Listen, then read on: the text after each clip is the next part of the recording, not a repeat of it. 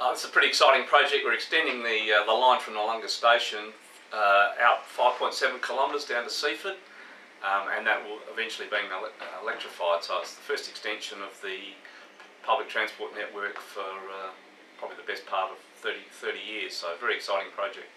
Yeah, progress has been pretty good since we awarded the contract in uh, late 2010. We've basically completed the earthworks, shifted about 800,000 cubic metres of material, um, which has laid the laid out the platform to uh, complete the, the bridges and, and all the associated work. So we've finished the Goldsmith Drive Bridge, the Old Honeypot Road Bridge, Seaford Road Bridge is in two stages. Half the first stage has been open. The Lytton Terrace Bridge down the southern end has been open, and we're well advanced on the main bridge. In addition to that, work around both stations and the commissioning shed is uh, advancing uh, as in terms of the building works. We did commence laying of rail um, prior to Christmas, and there was a, a run leading from the southern side of the main Onkaparinga Valley Bridge into the Seaford Meadows station, and uh, the dual tracks have been laid there.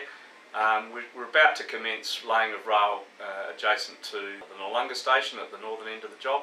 So it's all starting to look like a rail project now. Uh, the main bridge is uh, about a third finished. It's an incrementally launched bridge. In total, it's 1,120 metres long. Um, we believe it to be the third longest incrementally launched bridge in the world. Um, and they're launching it from both sides, um, pushing it out over the valley, and it's about uh, a third the way, way complete.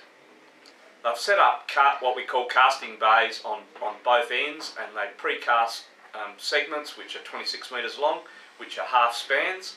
Um, and once once the concrete's been poured, it then gets lifted by by jacks and, and incrementally pushed out um, on top of the uh, adjacent piers. So the contractors, Thiess McConnell Dowell, have got into a, a reasonably regular routine of a eight to ten day launch pattern. Um, and probably around about June, July of next year, those those two uh, ends will meet.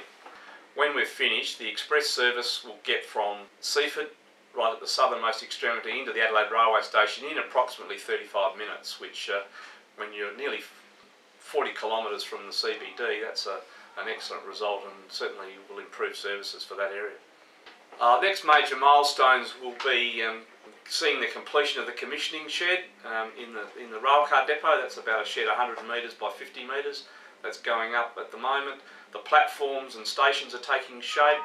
Um, some of the overbridges, uh, each station's got an overbridge. They'll be um, starting to emerge over the next uh, few weeks, and certainly the laying of rail um, will be a pretty exciting uh, uh, milestone, uh, particularly as it's adjacent to the Noarlunga shopping centre and will be far more visible.